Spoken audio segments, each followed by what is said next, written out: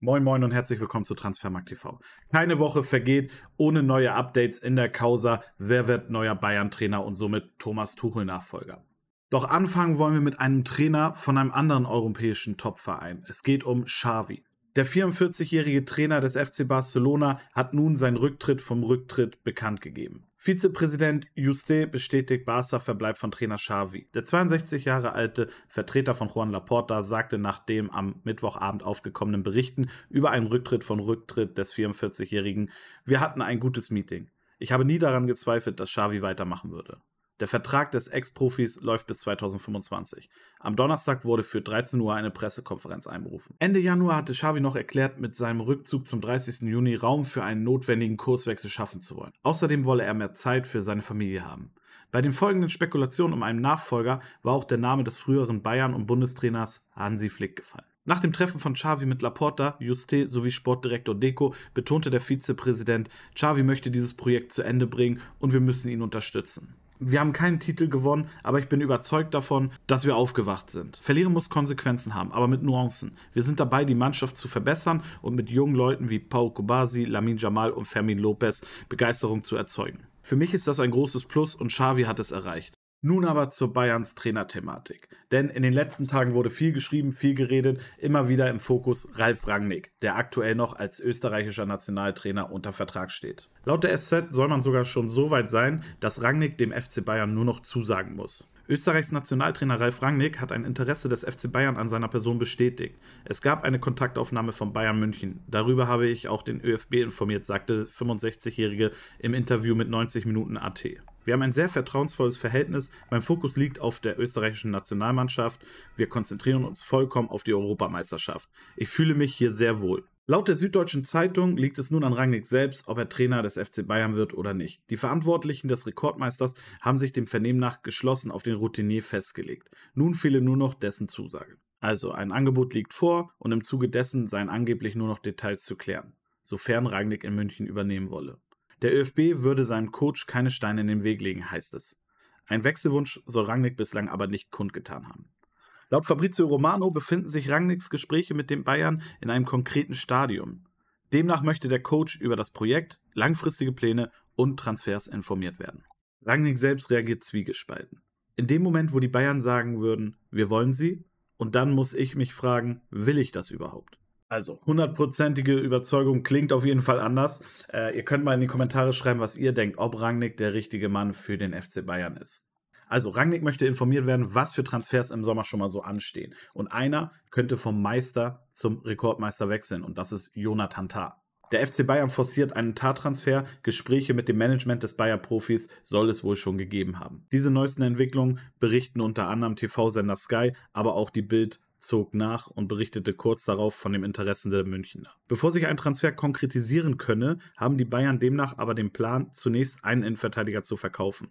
Mit Matthijs Delicht, Minje Kim, Dayo Opamecano, Eric Dyer, Talent Tarik Buchmann sowie Leihrückkehrer Josip Stanisic stehen nach aktuellem Stand sechs Spieler für diese Position im Kader der nächsten Saison. Tars Marktwert liegt nach einem 5 Millionen plus beim jüngsten Bundesliga-Update bei 30 Millionen Euro. Der gebürtige Hamburger ist noch bis Juni 2025 am Bayer gebunden. Die Leverkusener würden nicht daran denken, den Profi vorzeitig abzugeben. Ohne Verlängerung wäre der kommende Sommer wohl die letzte Möglichkeit, noch eine annähernd marktwertgerechte Summe einzustreichen. Der FC Bayern plane weitere Schritte, sobald der neue Cheftrainer feststeht. Kurz und knackig das nächste Gerücht, was eigentlich schon so gut wie ein feststehender Transfer ist, der allerdings aber noch an eine Bedingung geknüpft ist und die heißt Klassenerhalt. Es geht um Kevin Stöger. Laut der Sportbild holt Union Berlin Bochums Topscorer Stöger wie gesagt, Voraussetzung ist, dass man die Klasse halten kann. Kevin Stöger spielt die beste Saison seiner Karriere und hat einen am 30. Juni auslaufenden Vertrag. Das macht den 30 Jahre alten Topscorer des VfL Bochum schon im Winter interessant für Union Berlin, doch die Bochumer legten ein Veto ein. Laut der Sportbild könnte es mit sechsmonatiger Verspätung doch noch zu diesem Transfer kommen, falls die Eisernen die Klasse halten. Was die Sache brisant macht, Union und Bochum treffen im Kampf um den Klassenerhalt am 32. Spieltag direkt aufeinander. RB Leipzig. Man liebt sie oder man hasst sie. Dazwischen gibt es nicht wirklich was. Aber was man den Leipzigern lassen muss, sie haben eine gute Transfertaktik. Sie kaufen Spieler für einigermaßen angemessene, niedrigere Summen und verkaufen sie dann sehr, sehr teuer weiter. So sollen jetzt auch sechs RB-Profis Ausstiegsklauseln haben. Laut Sky besitzen Castello Luqueba, Dani Olmo, Mohamed Simakan, Amadou Haidara, Benjamin Cesco sowie Luis Openda Ausstiegsklauseln in ihren Arbeitspapieren. Vier davon sind demnach im kommenden Sommer gültig. Dem Pay-TV-Sender zufolge kann Olmo für 60 Millionen wechseln, Simakan für 70 Millionen Euro, Haidara für 30 Millionen Euro und Cesco für 50 Millionen Euro, ohne dass RB ein Veto einlegen könnte. Die Exit-Optionen bei Openda und Lukeba sollen erst 2025 erstmals aktiviert werden können. Dann würden der belgische Angreifer 80 Millionen Euro kosten, während der französische Innenverteidiger im Bereich von 70 Millionen Euro bei einem anderen Verein unterschreiben könne. Zusammen kommt das Sextett auf einen aktuellen Marktwert von 242 Millionen Euro. Alle Ausstiegsklauseln zusammengerechnet ergeben 360 Millionen Euro.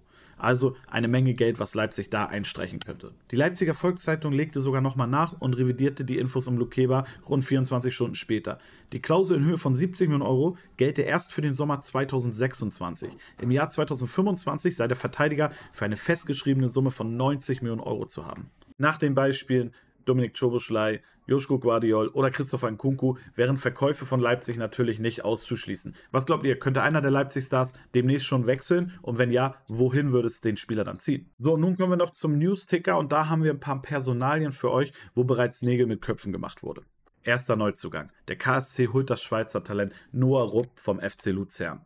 Der Karlsruher SC hat seinen ersten Neuzugang für die kommende Saison unter Dach und Fach gebracht. Noah Rupp wechselt vom FC Luzern zum deutschen Zweitligisten, bei dem er das zentrale Mittelfeld verstärken soll. Rupp gilt als eines der großen Talente der Schweiz und wurde von vielen Vereinen umworben, heißt es in einer Mitteilung des KSC. Der Linksfuß mit einem Marktwert von 200.000 Euro kam in der laufenden Saison vor allem für die Zweitvertretung Luzerns zum Einsatz. Dort fiel er mit sechs Toren in 15 Partien auf. Mit 17 Jahren, 11 Monaten und 26 Tagen hatte Junioren-Nationalspieler Rupp einst seine Premiere in der Super League gefeiert. Der FC Porto zieht die Kaufoption für die Ajax-Leihgabe. Das Vater-Sohn-Duo Conceição bleibt also beim FC Porto bestehen. Der FC Porto hat die Kaufoption für Francisco Conceição gezogen. Der von Ajax Amsterdam ausgeliehene 21 Jahre alte Angreifer unterschrieb einen Vertrag bis 2029. Porto überweist für den Sohn von Trainer Sergio Conceição 10 Millionen Euro in Richtung Niederlande. Conceição war im Sommer 2022 für 5 Millionen Euro von Porto zu Ajax gewechselt. Nach einem durchwachsenen Jahr kehrte er auf Leihbasis zurück. In der laufenden Saison steuerte der Rechtsaußen in 38 Partien je sieben Tore sowie Vorlagen bei und feierte im März sein Debüt in der portugiesischen Nationalmannschaft. Kapitän und Schlussmann Ron Robert Zieler bleibt bei Hannover 96. Hannover 96 und Kapitän Ron Robert Zieler gehen in die erneute Verlängerung. Der 35 Jahre alte Keeper bleibt bis 2025 bei den Niedersachsen, wie der Zweitligist am Dienstag mitteilte. Ron ist eine absolute Identifikationsfigur bei Hannover 96 und in der ganzen Region. Seine Vita steht für sich. Als unser Kapitän übernimmt er nicht nur während der 90 Minuten auf dem Platz Verantwortung, sondern auch davor und danach in der Kabine. Wir sind sehr glücklich darüber, dass er auch weiterhin mit all der Erfahrung, auf die er inzwischen zurückblicken kann, ein sicherer Rückhalt für unsere Mannschaft ist, erklärte Sportdirektor Markus Mann. Und nun kommen wir zum Abschluss noch zu zwei fixen Trainerentscheidungen in der zweiten und dritten Liga. Der abstiegsbedrohte MSV Duisburg hat Trainer Boris Schommers freigestellt. Nach drei Niederlagen aus den letzten vier Spielen hat sich der stark krisende MSV Duisburg von Trainer Boris Schommers getrennt. Wie der Drittligist, der mit 30 Punkten auf Platz 18 steht und damit den Abstieg kaum mehr abwenden kann, mitteilte, wurde der 45-Jährige mit sofortiger Wirkung freigestellt. Schommers sammelte seit Amtsantritt im Oktober in 25 Partien im Schnitt nur 0,92 Punkte. Bis zum Ende der Saison übernehmen der Leiter der Nachwuchsabteilung Uwe Schubert und Lizenzbereichschef Branimir Bajic das Team. Osnabrück steht kurz vor dem Abstieg aus der zweiten Liga, hat aber aber mit Trainer Uwe Koschinat verlängert. Trotz des bevorstehenden Abstiegs aus der zweiten Bundesliga hat der VfL Osnabrück mit Trainer Uwe Koschinat verlängert. Der Vertrag des 52-Jährigen, der aus bislang 16 Spielen im Schnitt 1,06 Punkte sammelte, lief ursprünglich am Saisonende aus. Für wie lange das neue Arbeitspapier gültig ist, teilten die Niedersachsen nicht mit. Dafür aber, dass es auch für die dritte Liga gilt. Uwe passt als Typ und als Mensch zum VfL und zur Brücke. Sein ligaunabhängiges Commitment zum VfL spricht für ihn und seinen Charakter, heißt es vom Verein. Das war's für diese Woche. Wieder mal einiges los gewesen und ihr könnt gerne mal in die Kommentare schreiben, was ihr von einer Verpflichtung der Bayern von Jonathan Tah halten würdet oder was ihr von der Connection Ralf Rangnick FC Bayern haltet. Also, bis zum nächsten Mal. Ciao.